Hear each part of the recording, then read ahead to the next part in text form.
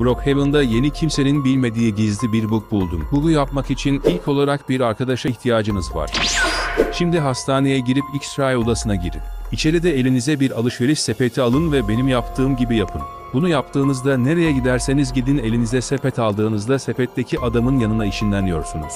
Ama sepettekinin hareket etmemesi lazım. Son olarak bu odaya girip masanın altındaki düğmeye basın. Böyle bir yere ışınlanacaksınız işte burada elinize tekrar sepeti aldığınızda ateş elinizden gitmiyor. Bununla arkadaşlarınıza hava atabilirsiniz. Bu gördüğünüz Brookhaven'da arkadaşlarınızı trolleyebileceğiniz yeni bir bug. Şimdi size bu bug'u nasıl yapabilirsiniz onu göstereceğim. İlk olarak bir arkadaşınızdan yardım isteyin. Şimdi arkadaşınızın sizi alışveriş sepetiyle alması lazım.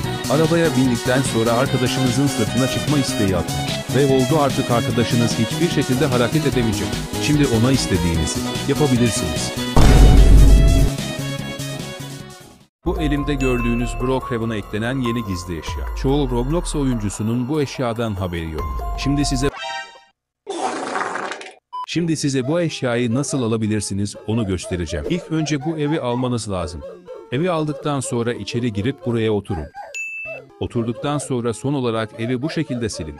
Ve işte oldu gördüğünüz gibi elimde kimsenin alamayacağı bir eşya var. Bu tip videoların devamı için videoyu beğenin. Brookhaven'da böyle bir bug olduğunu biliyor muydunuz? Bu bug'u yapmak için ilk olarak chat'e Wolf yazın. Bunu yazdığınızda bu şekilde dans etmeye başlayacaksınız. Şimdi bir at çağırın ve üstüne binin. Ve dansımız garip bir şeye benzemeye başladı. Daha fazla garipleşmesini istiyorsanız elinize bir balta alın ve animasyonunu değişin. İşte bu şekilde arkadaşlarınızı trolleyebilirsiniz. Eminim insanlar çok havalı olduğunuzu düşünecektir. Brookhaven'da böyle bir tünel olduğunu biliyorsunuzdur. Peki ya bu tünelin arkasında ne olduğunu hiç düşündünüz mü?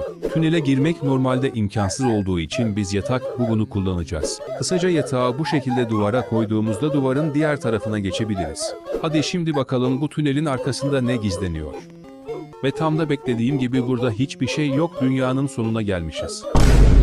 Kanala abone olmayanların evine gidip tuvaletlerinin içine gireceğim. Arkadaşlar durum çok ciddi hemen abone olun.